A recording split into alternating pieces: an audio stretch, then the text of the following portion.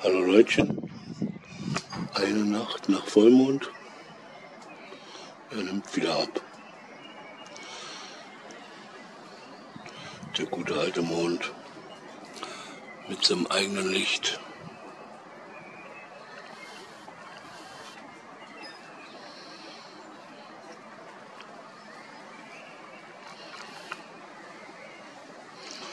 Heute ist ganz schön windig.